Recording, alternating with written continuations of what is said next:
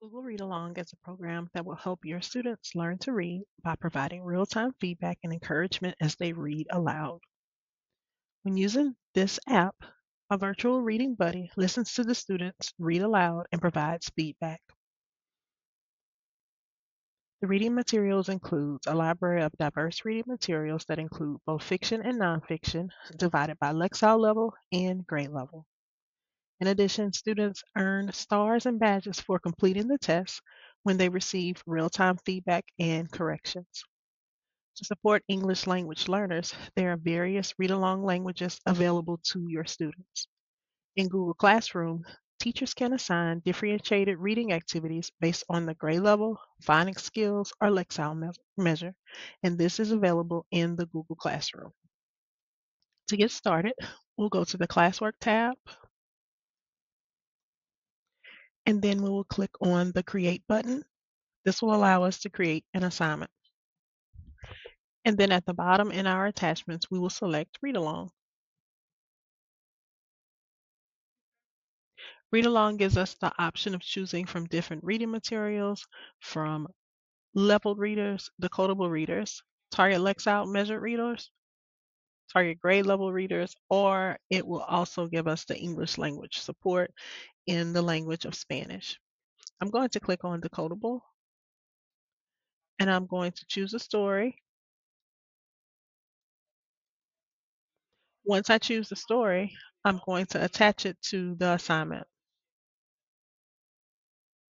If I wanted to see what it looks like in a student's view before attaching it to the assignment, I can click on Try Student View. Try Student View will give me a preview of what it will look like for the student.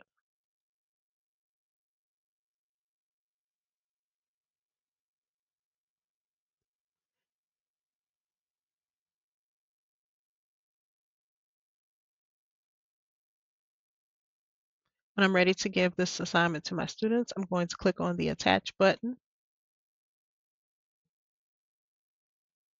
Select those students who this assignment is assigned to. Click Done. If I have a specific due date, I can change the due dates here. Or if I have a specific topic that I've created just for my reading practices, I can select that topic here.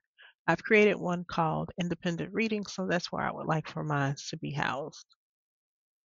Once done, I'll click the Save button, and that assignment will be given to those students.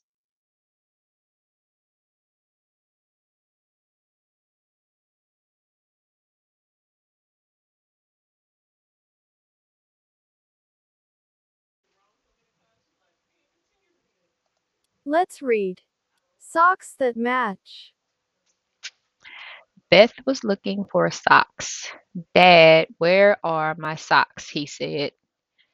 Great reading, that was fast. Dad said, Here they are. Fabulous. Beth picked socks that do not match. Wow, that was fast. This sock is pink and that sock red, Dad said. Here, I fixed it for you. Fabulous. No, Dad, said Beth. I like socks that do match. So do the s- kids at school. Very good. Well, if you think so, Dad said, we have to get now. Great job. On their way to school, they passed the sock shop. A sock shop. That was fast.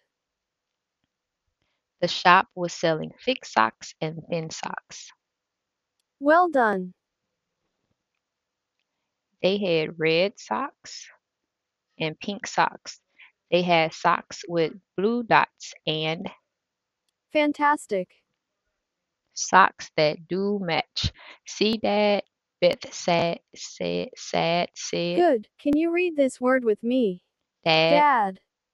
Dad, Dad. Well done, you got that. Quiz time. In the beginning of the story, why couldn't Beth find her socks? Yay, you got it. You win 50 stars. Quiz time. How did Dad try to help Beth?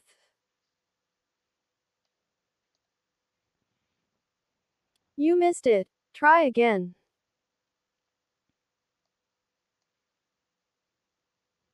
Uh-oh, try again.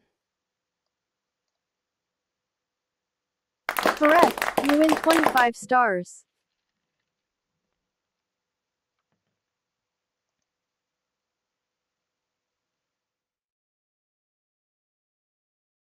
Once your student has completed their assignment, we'll click on the classwork tab and go directly to that assignment and you will see that it has been turned in. Click on review work and you will be able to see the performance insight of each individual student's reading performance. This will include data for each assignment, grading them on accuracy, speed, and comprehension. For this reader, was 113 readers in this decodable. The student scored between 70 and 90%, and these were the common words that needed practice. With comprehension, and there were two questions included, she scored within the 50 percentile, and she had trouble with inferential questioning. You can click on each tab just to bring them up. And this will be associated with those students' names and their data.